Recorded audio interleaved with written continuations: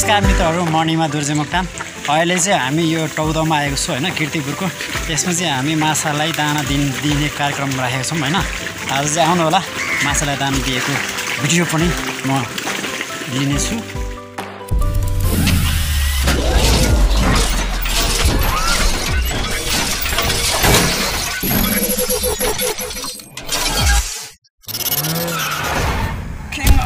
मित्रहरू अहिले म टौदामा आइपुगेको छु होइन श्री कार्को नगर नागराज नागरानी वासस्थान टौदा समाजले बनाएको गेट हो होइन? think nothing better. पोखरी परिसरभित्र मदिरा लैजान निषेध गरिएको छ है? ओके गो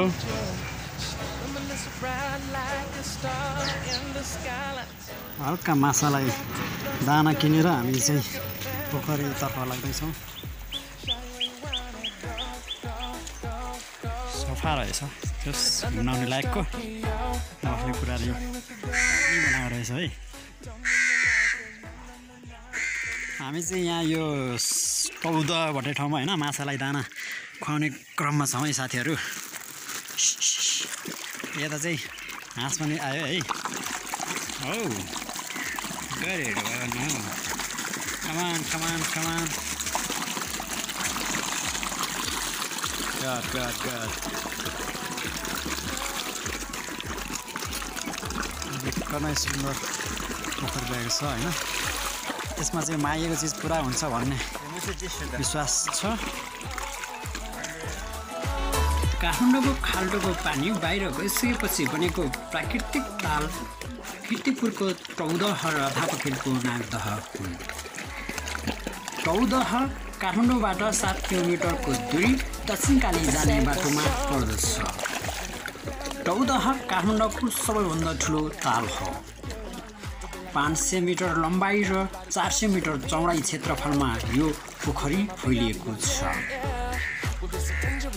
कर्कट नागको वास रहेको विश्वास गरिने टौदहमा नाग पञ्चमीको दिन ठुलो मेला लाग्ने गर्दछ। रातो कालो सेतो पहेँलो विभिन्न किसिमको माछा देख्न है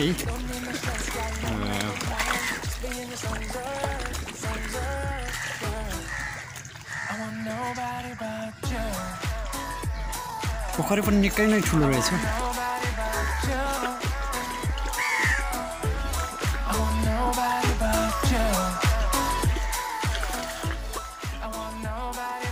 but you. परपूर्व कालमा म- मन्जुश्रीले काठमाडौँको पानी हटाएर बस्ती बसाउन चोबारमा निकास निकाले पश्चात उपत्यकाभन्दा बाहिर केही तालहरू रहे र हाल अस्तित्वमा रहेको एउटै मात्र ताल हो टौदह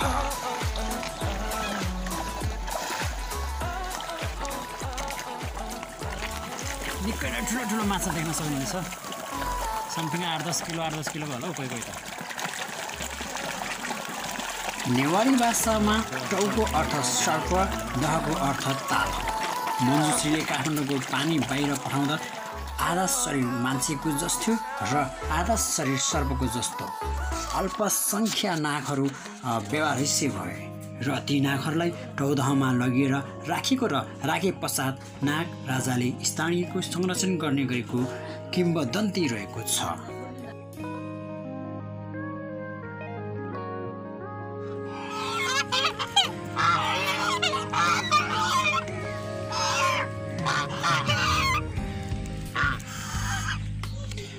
र सोही कारण यो तालमा आजसम्म कोही पनि स्विमिङ खेल्न र माछा मार्न जाँदैनन् भनेर स्थानीय बासिन्दा ऐतिहासिक महत्त्व बताउँछन्।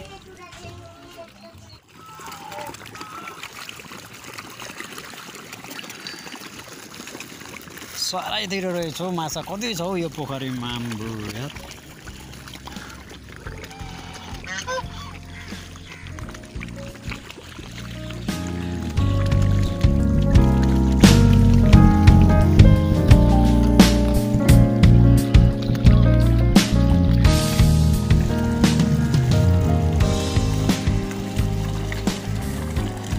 Oh God.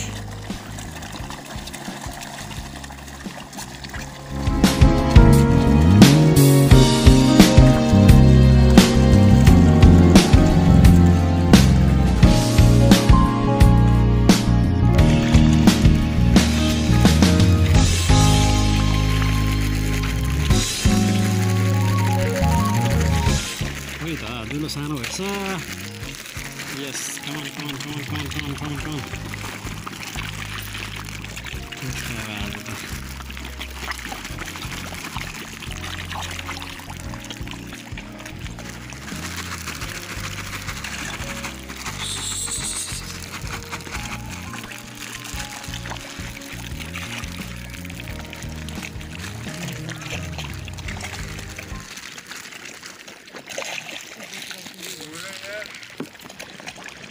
यो एरियामा अलिकति कम हो कि जस्तो महसुस लाग्यो।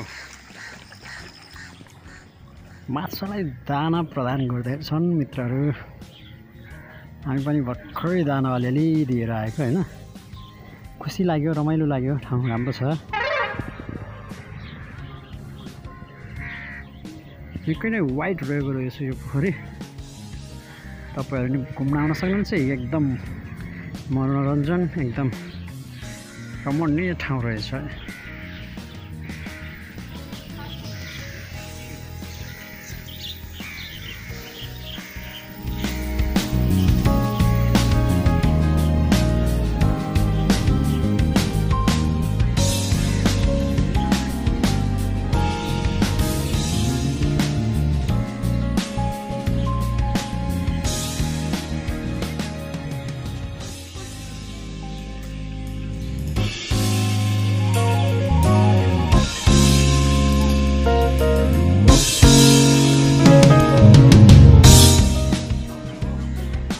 बिच बिचमा ड्राइभ हान्ने रहेछ हौ बेला बेलामा